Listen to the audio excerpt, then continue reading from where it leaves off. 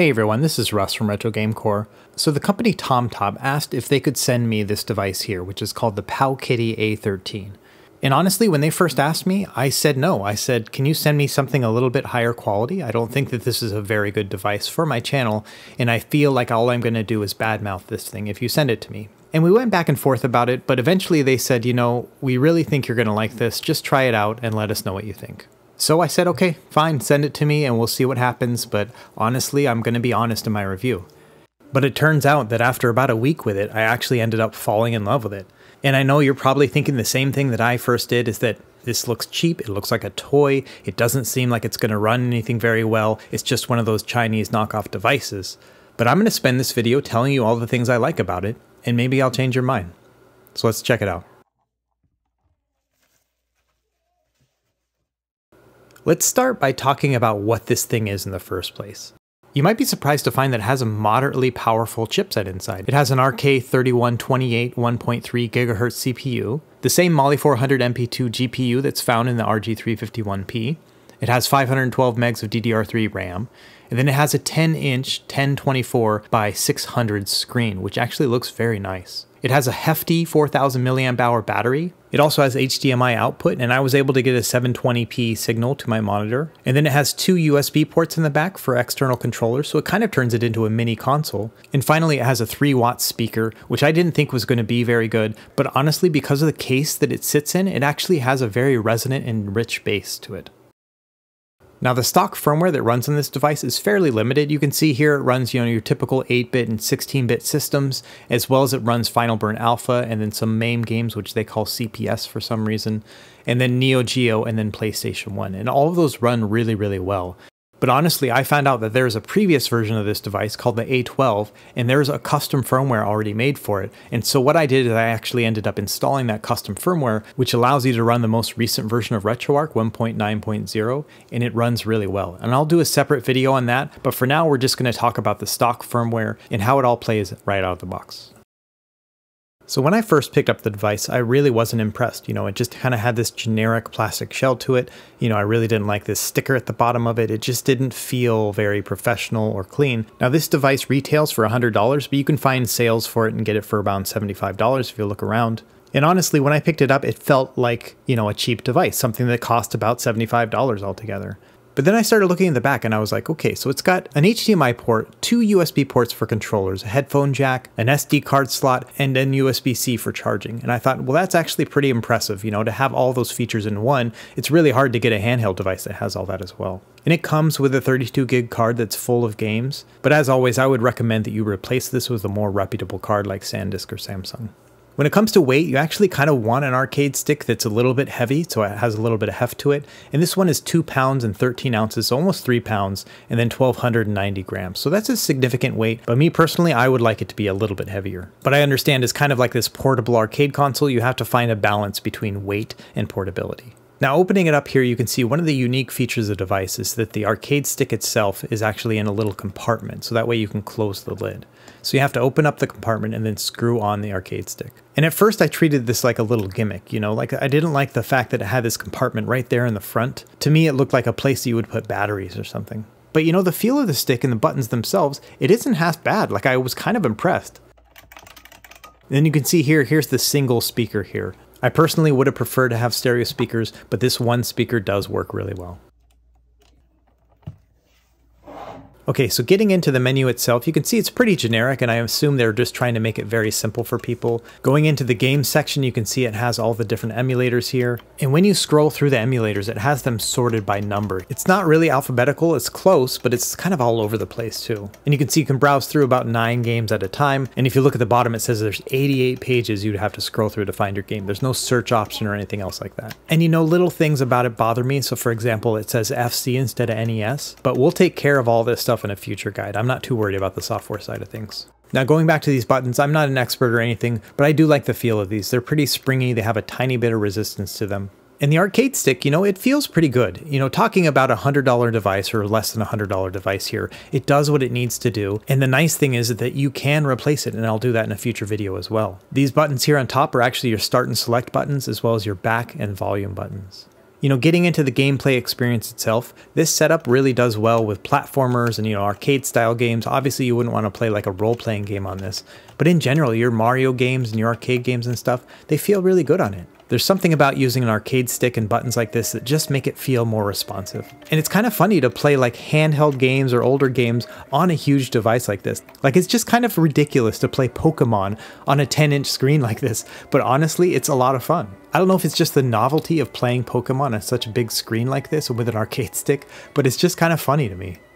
And honestly, I'm pretty impressed by this quad core chipset. I mean, at the end of the day, this chipset is just about as powerful as the 351P, so any of those games that you have no problems with playing on the 351P are to play just great on this as well. You can see here Mario World works great.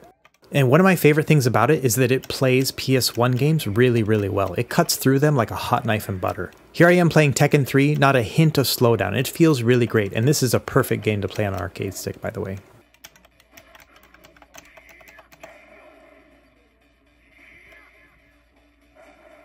Getting into the menu here, you see that it has a truncated version of RetroArch. Basically allows you to do save states and then change your different button configurations. Arcade games, particularly fighting games, they all run well. I didn't get a chance to test every single fighting game on here, but CPS 2 games are playing great. And given the chipset, I think that we're going to be able to play even CPS 3 games here. Unfortunately, they're not loaded on the stock SD card, but I'll cover all that in my next guide. And as you can see here, you can go into the input settings and change your button configuration. For example, if you want to try to change the layout of the buttons, you can do that right here. But honestly, I'm not really sure how to save these inputs, if it saves it across the core or across the game. It's really hard to figure out because of the way they have this RetroArch set up. And you can page through the games pretty quickly by hitting left and right, but it's not an ideal setup. As you can see here, it's not really in alphabetical order. But in general, classic arcade games like Strider here or any of the Street Fighter games, they all run really well. And these are the games that are best suited for this device. So if you love these classic games, you're probably going to really enjoy this experience. I ended up liking this device so much that I went out and I spent about $60 buying new buttons and a new arcade stick and getting us all tweaked the way I wanted it to. And I think that says something. The fact that I was willing to invest my money into making this device even better than it is says a lot about it. And I'll cover these physical mods in a different video. For now, I'm just showing you how it is out of the box. I think this system is a pretty good setup for horizontal shooters. I don't think you'd want to play any sort of vertical shooters on this just because of the screen space, but it's something you could probably try as well.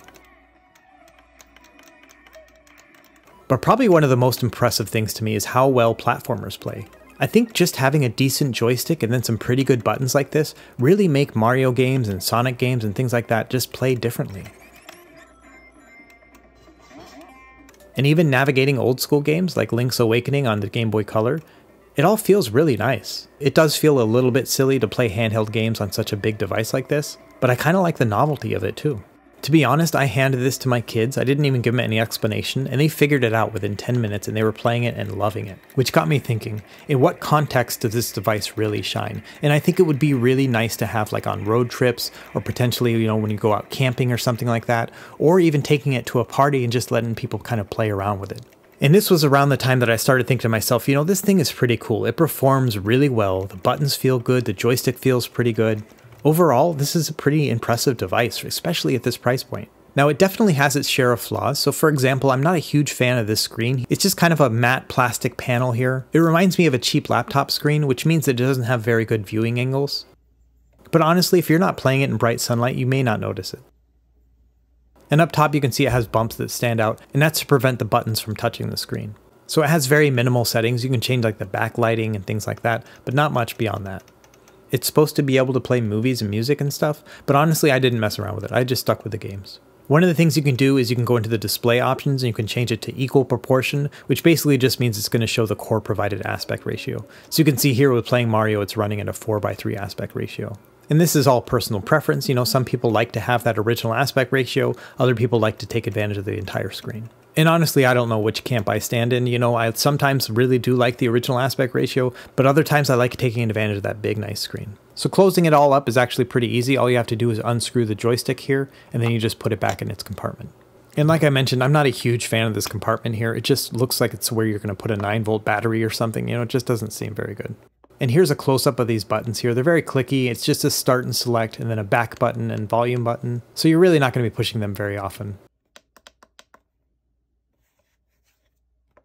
But the arcade buttons are pretty nice, you know, they're legit arcade buttons. They're not the best in the world, but they work. And you can see here after closing everything up, you have these plastic nubs here which basically protect the screen from the buttons.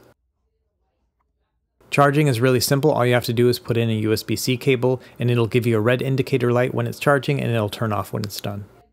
Okay, so since I recently did a video on the 8BitDo arcade stick, let's compare them really quick. Now I think these buttons have a little bit more spring to them. They definitely bounce back much more quickly than they do on the 8BitDo one but you do have to push a little bit harder on them than you do with the 8BitDo one. You can see here, it just doesn't stick out as much on these. So whether or not one is more responsive than the other is really going to be up to you. Whether or not you like to really kind of mash on the buttons like you would with the Powkiddy version, or if you just want to tap on them with the arcade stick. Now when it comes to joysticks, there's no question here, the arcade stick on 8BitDo definitely feels a little bit better. But honestly, the gap between the two is not very big especially considering that the 8BitDo stick costs $90 and it doesn't come with a screen or HDMI out or external controllers or thousands of games. Whereas the Powkiddy has all of that and a control scheme that's not that bad. Okay, so still on the subject of extra features here, you can see here I just plugged in a PlayStation Classic controller here, and it just worked without any extra configuration. Now it's not perfect, for example, if you hit left on the arcade stick, somehow it also hits left on player 2, but you can configure all the controls in the RetroArch menu. So I think it's just a matter of messing around with the configuration to get it to work. So now trying out the 8BitDo wireless adapter here, and you can see I'm using a PlayStation 4 controller and it's working just fine. I have no idea what game I'm playing here, but uh, it worked okay. And same thing here with PS4 controller with Contra. It seems to work okay, but again, when I switched over to the arcade stick, there were some weird control issues going on. But honestly, it's probably just a matter of changing that configuration in RetroArch. So now let's test out HDMI output. And honestly, it couldn't have been simpler. All I did was plug in an HDMI cable into my monitor. It turned off the screen on the Powkiddy A13, and then it just outputted everything to the monitor. And I checked the resolution on my monitor, and it recognized it as a 720p signal, which I thought was pretty impressive, honestly. As far as I could tell, there was no input delay. I was playing just fine. And as well, in the output, you can change the aspect ratio. So if you want to play it at 4x3 on your TV or your monitor, you can definitely do that. And this is the feature that really sold me on the device. If you can imagine, you could take this little console over to a friend's house, bring in a couple extra controllers, then all of a sudden everyone's playing everything on the TV here. I find it to be a neat concept and it just kind of has this spontaneous feel to it. So in summary, you know, this device costs less than $100 and you get a lot of features for that price. It has a 10 inch screen with a really nice screen resolution. It flawlessly plays games all the way up to PlayStation 1. It has HDMI out and external controller support so you can play it with friends. The arcade stick and the buttons themselves, they feel pretty good. It has a nice chipset and a good battery, and it's also fairly portable. So I don't know about you folks, but I am sold on this device. I'm really happy with it. I'm definitely keeping this in my personal collection for a long time to come. But let me know what you think in the comments below and whether or not you think I'm just crazy here. Alright everyone, that's it for this video. We'll see you next time. Thanks for watching, and happy gaming.